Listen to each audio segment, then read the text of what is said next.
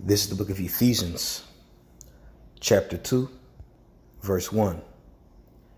And it reads, And you hath he quickened, who were dead in trespasses of sins, wherein in time past ye walked according to the course of this world, according to the prince of the power of the air, the spirit that now worketh in the children of disobedience, among whom also we all had our conversation in times past in the lust of the flesh, fulfilling the desires of the flesh and of the mind, and were by nature the children of wrath, even as others.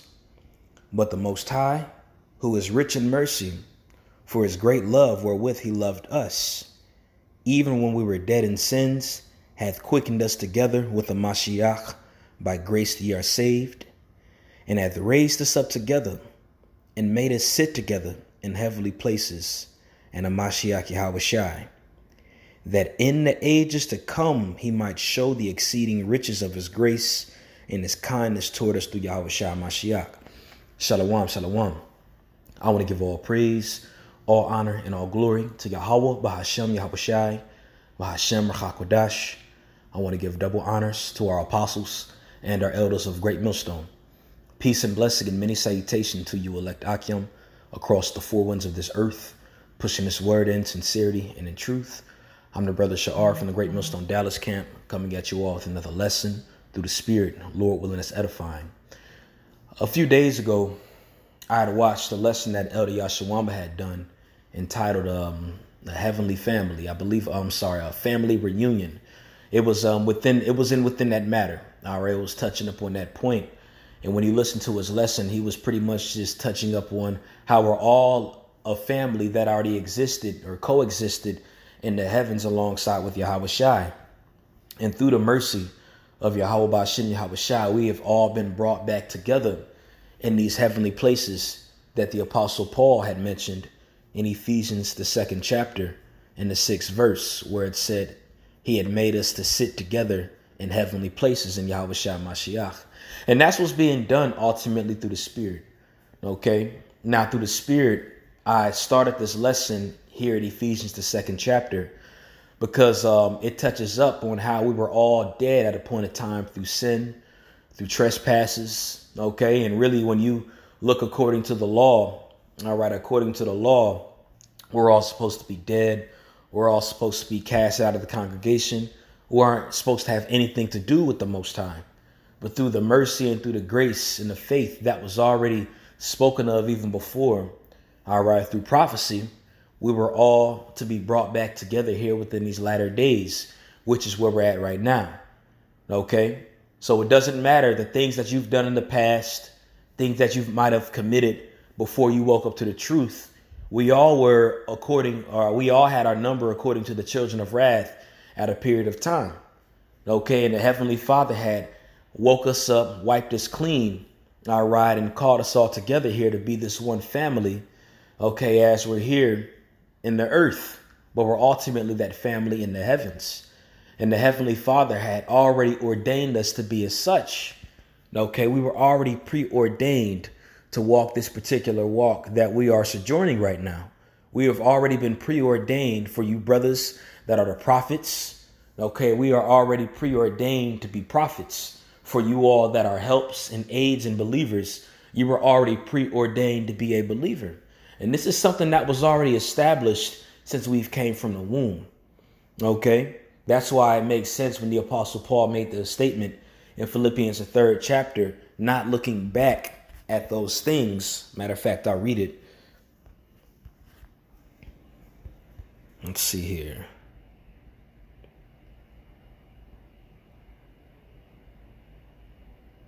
This is Philippians chapter 3, verse um, let me see here.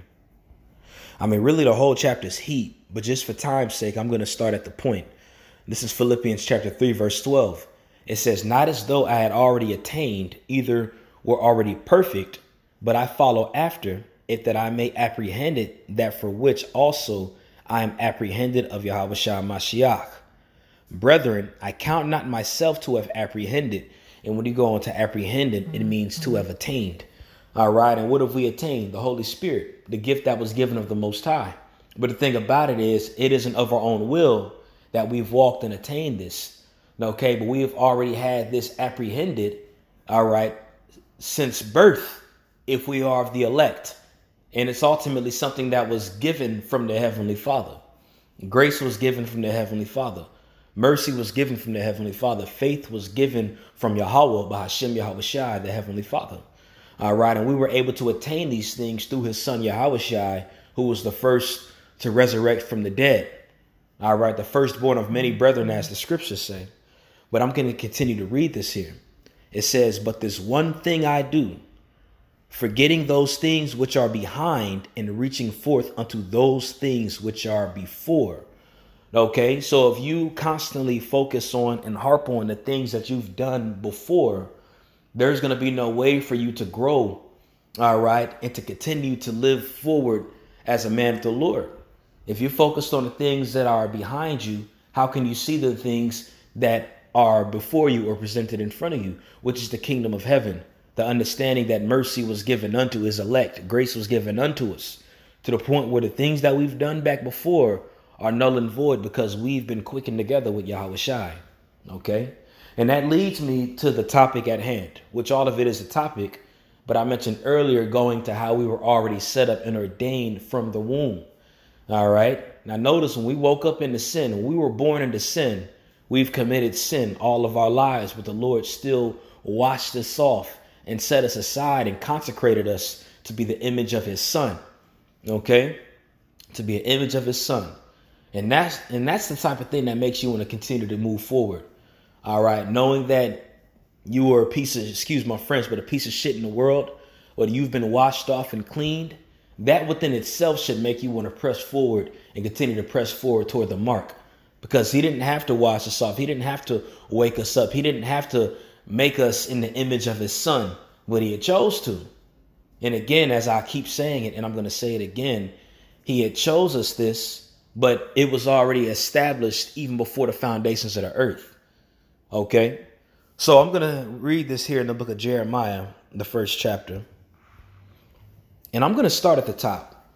It says, The words of Jeremiah, the son of Hilkiah, of the priests that were in Ananoth, and Salak and Anthoth and Anathoth in the land of Benjamin.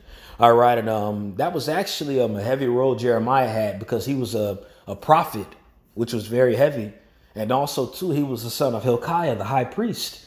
Okay, and if you don't know who Hilkiah is, when you actually read about him in the Second Kings, the 22nd chapter, all right, when the temple was being reconsecrated, okay, because um, around that time Josiah was king, okay, and his father, all right, who was in power before him, pretty much was he was a wicked guy.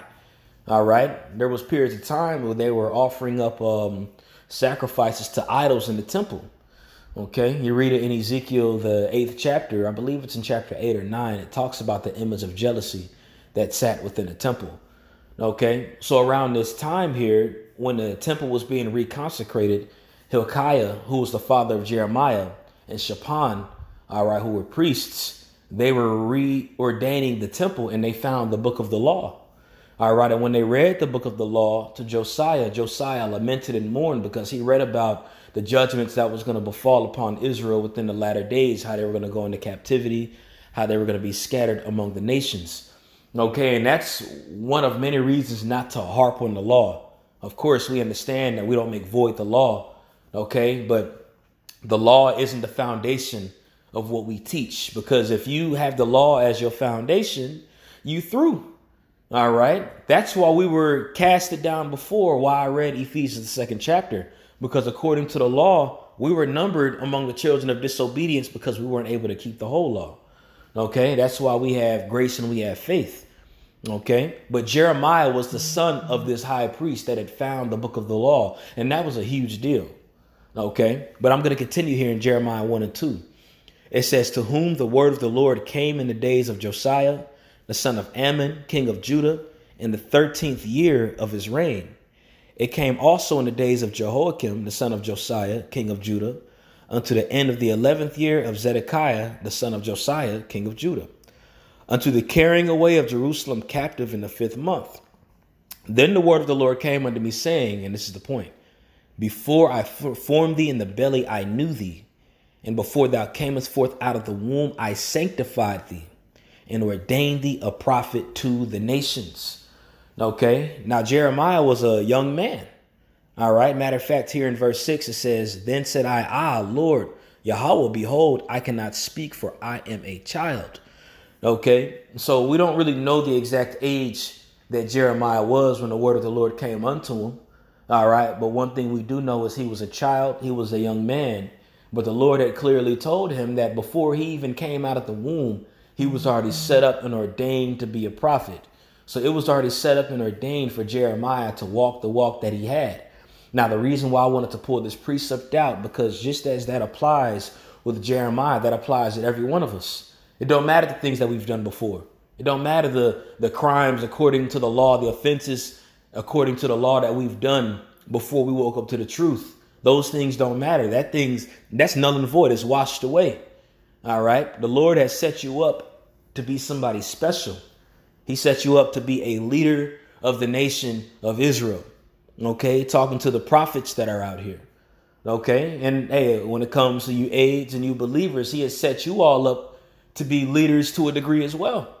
All right. Because even within you believing this testimony, that's accounted toward your righteousness as pertaining to Romans, the fourth chapter.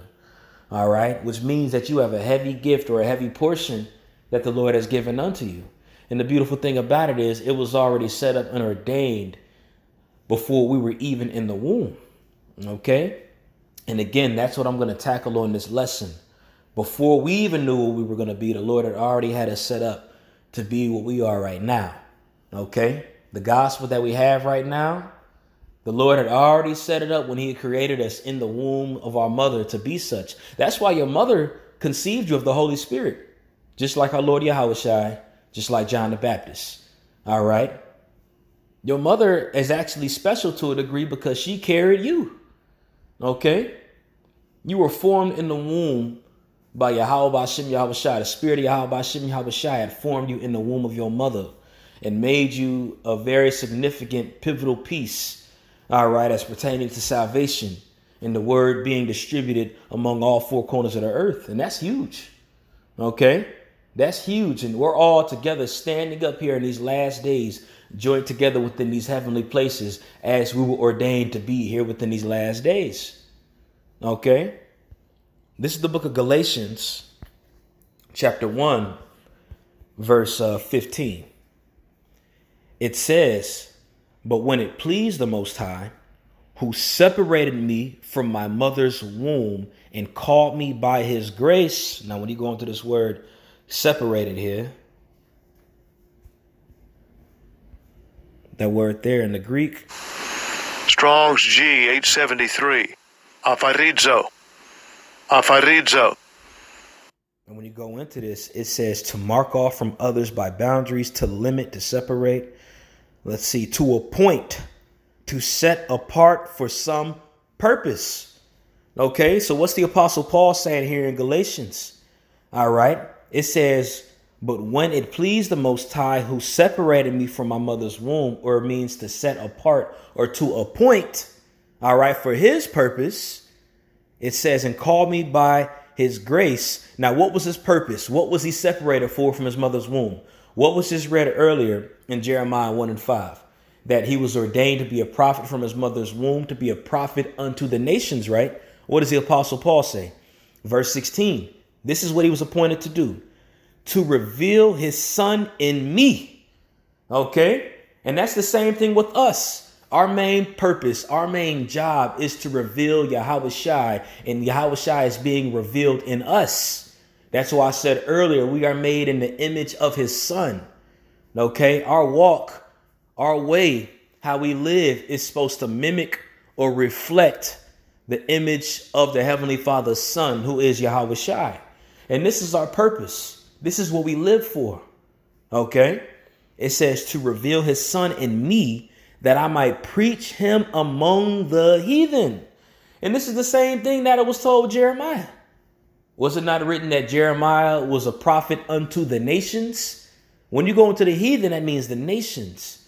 Okay? And when you even go into this, because a lot of people will read this And they'll use this scripture to prove that Paul was sent to preach to everybody. Okay? Which when we go on the highways and we preach, everybody's walking by listening. All right. But what are we doing? We're calling out.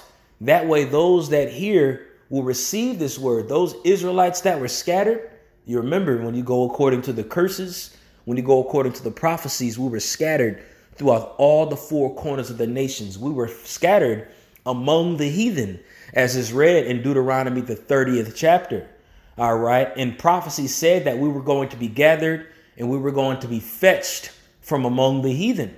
So, as Paul was an apostle of the Gentiles, Paul's job was to preach, all right, was to display the image of Yahweh Shai, was to call out. That way, those that were scattered among the heathen would be brought back according to prophecy, as prophecy had stated.